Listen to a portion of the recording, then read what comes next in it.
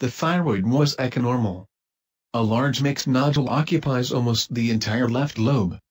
The nodule has a star-like, central echonormal solid area. Part of the hyperechogenic figures are microcalcifications, but comet-tail artifacts are also present.